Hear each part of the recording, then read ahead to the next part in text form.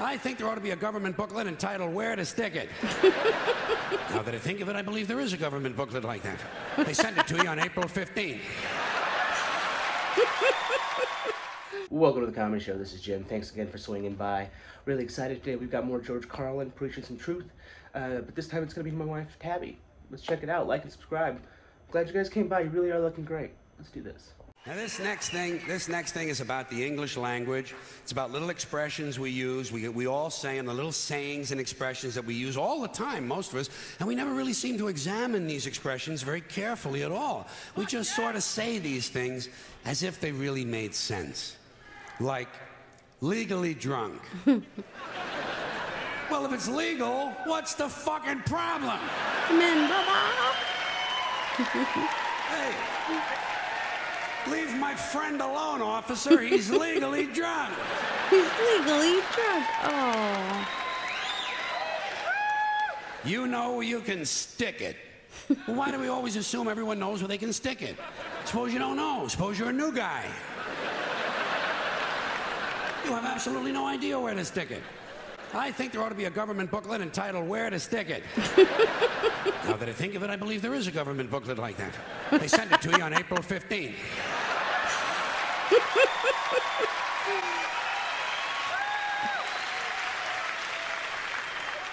Undisputed heavyweight champion. Well, if it's undisputed, what's all the fighting about?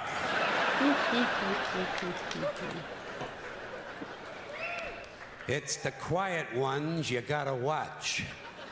You know that one, eh? Every time you see a story about a serial killer on TV, what do they do? They bring on the neighbor. And the neighbor says, Well, he was always very quiet. And someone in the room says, It's the quiet ones you gotta watch. Absolutely. This sounds to me like a very dangerous assumption. I will bet you anything that while you're watching a quiet one, a noisy one will fucking kill you.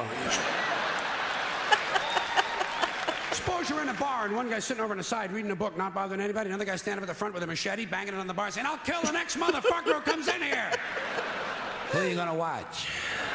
You're goddamn right. Lock him up and throw away the key. Throw him away. This is really stupid. Throw him. Where are you going to throw the key? Right out in front of the jail? His friends will find it.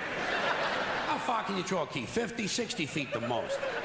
Even if you lay it flat on its side like that and you scale it, what do you get? An extra 10 feet, tops. This is a stupid idea, needs to be completely rethought. Down the tubes. Hear that one a lot. People say, ah, the country is going down the tubes. Going down the tubes. What tubes? Have you seen any tubes? Where are these tubes? And, And where do they go? And how come there's more than one tube? I'm right, Jim. It would seem to me one country, one tube. What, does There every are state many all of a sudden have tubes, to have its own George. tube now? One Tubes. tube is all you need. Many tubes. What, a tube that big? Hmm? Somebody would have seen it by now. Somebody would have said, hey, Joey, Joey, look at the fucking tube. big ass fucking tube over here. You never hear that. You know why? No tubes. we don't have tube one. We are essentially tubeless. Takes the cake.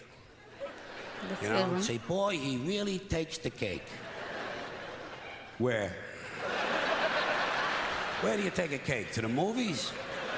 To the party. You know where I would take a cake?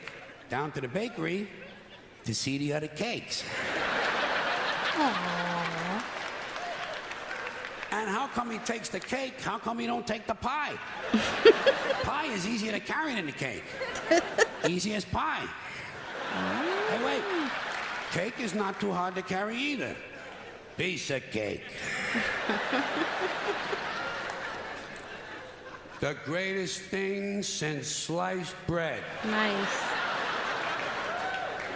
So this is it, huh, folks? No. Yes. Couple of hundred thousand years. George, you really are the master. The fucking pyramids, for Christ's sakes. Panama Canal, the Great Wall of China. Even a lava lamp. to me is greater than sliced bread. What's so great about sliced bread? You got a knife, you got a loaf of bread, slice the fucking thing!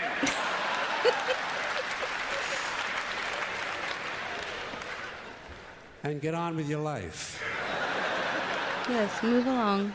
Move along. Out walking the streets. You know, guy gets a parole. They say, now instead of being in prison, this guy is out walking the streets. How do we know? Maybe the guy's home banging the babysitter. Not everybody gets a parole is out walking the fucking streets. A lot of times they, they steal a car, you know. And we ought to be glad. Thank God he stole a car. At least he's not out walking the streets.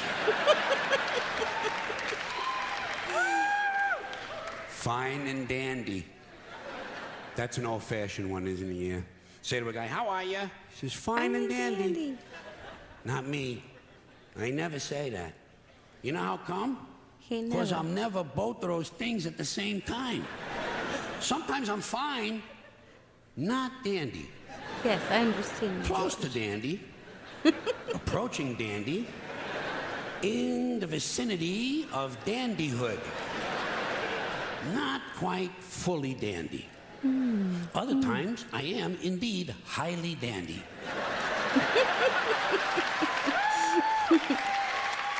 He's a great comedic writer. However, not fine. One time, one time, 1965, August, for about an hour.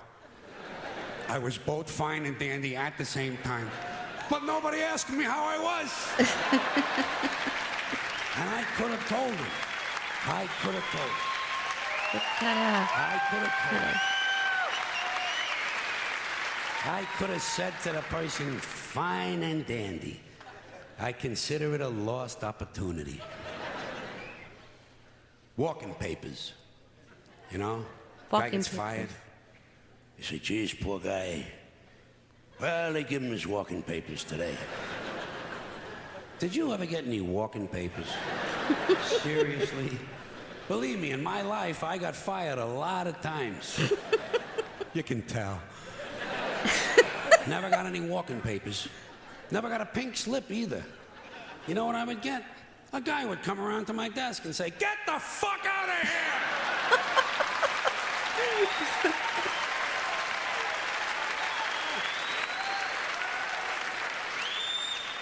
You don't need paper for that. It's like the Riot Act. The Riot Act. They keep telling you they're going to read that to you. Have you heard this thing at all? Especially when you're a kid, they threaten you. You wait your father comes home, he's going to read you the Riot Act. Tell him I already read it myself. And I didn't like it either. I consider it wordy and poorly thought out. he wants to read me something. How about the Gentleman's Guide to the Golden Age of Blowjobs? Ooh. More than happy. Oh I bet yeah. you say that sometimes, don't you? Once in a while, you say to More somebody, "Oh, I'd be Nope. more than happy to do that." Oh, How I can you be more than happy? To me, this sounds like a dangerous mental condition. We had to put Dave in the mental home. He was. He was more than uh, happy. Whoa, Yes. more than happy. Beautiful expression and beautiful. One more of these. he- in your his own presence on words. stage is People say that to you. You know, you know when you hear that a lot in a classroom or in a courtroom, they'll say to you, "Tell us in your own words." Yes, tell us in your own words. Like how else Do you could have you? your own words? Hey, I'm using the ones everybody else has been using. Next time they tell you to say something in your own words, say "Nick flat blarney quando flu."